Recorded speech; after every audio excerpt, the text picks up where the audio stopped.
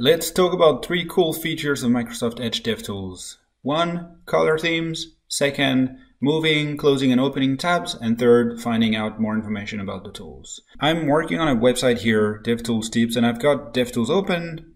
And if you like me, you use Visual Studio Code. That's what I do. And I have my favorite theme there is Solarized Dark. I like using this theme. You can change it in Visual Studio Code um, with the drop down here to choose from many of the pre-installed themes, but this is my favorite. One thing that was added in DevTools recently is the ability to do exactly the same, and that's awesome. I can open the command menu, type theme, and look at all of the different themes that are available now. And Solarized Dark is also available there. So I can have a consistent experience between my editor and my DevTools, and I love it. The second thing that I want to demo today is, and I'm going to make DevTools bigger for this one, is the ability to open, close, and move tools around really easily. Um, now, I know that I've used a tool recently called rendering, and I don't remember where it is because, let's face it, there are so many tools and buttons all over the place that it's really hard to find out where they are. Uh, Edge DevTools recently added this plus button.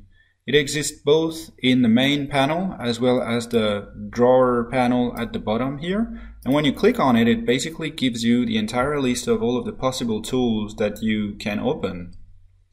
And rendering is right here, so I can open it again. Um, I can close it again with the close button. This is also recently added. So if I end up needing network conditions and you know performance and then I want to do some you know playing out with uh, location overrides and, and things like that. I can then declutter my UI by closing all of these things getting rid of everything I don't need and going back to my you know most used tools element sources console issues and, and things like that. Uh, another thing that was also recently added is the ability to move tools around between those two regions of the main DevTools UI. So I can right click on a sources panel and move to bottom. If I want to see both my you know my sources as well as network panel at the same time so that I can maybe you know refresh and and and hit a breakpoint when I do that or you know whatever you might need. Um, and you can do this with any of the tools. I can have the layers panel down at the bottom or up at the top Maybe I want to see the layers as well as the 3D view, um, which might be a useful combination for you if you're debugging, you know, how your website is organized in terms of like z-index and, and how many layers get created and, and things like that. So that's really quite useful. The last feature that I want to talk about today is, again, there are so many tools. So maybe you're not familiar with the rendering panel that I mentioned before. You know, it's like a big list of options. I don't really understand what they do. So one thing that got added is a help mode.